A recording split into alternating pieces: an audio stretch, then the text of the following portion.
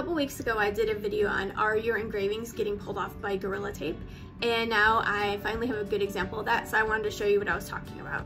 So in my quick tip I was talking about removing most of the masking material before I went into the little detailed area so this is what I'm talking about just like take off the bulk of it. What I started doing was um, in the video you can see instead of just pulling it straight up I was dragging the Gorilla Tape over the engraving. So it was catching and rolling instead of just pulling it straight up and removing wood in the process. And here's the final product. It turned out great. I didn't have any issues, no pulling up of the wood between letters or messing up the QR code.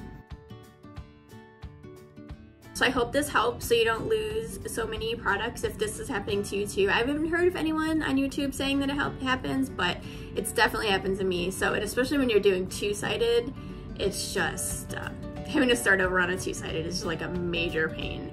So if you're actually wondering what I'm making, I make these QR code keychains for small businesses, people who want to share their Instagram, Facebook, TikTok, you know, if you're trying to grow your social media, I've made them for that for real estate agents. So I mean, if you want to check it out, I'll link my Etsy store below, and I would love it if you go check it out. Yeah, not a fashion statement. It just got really cold in here.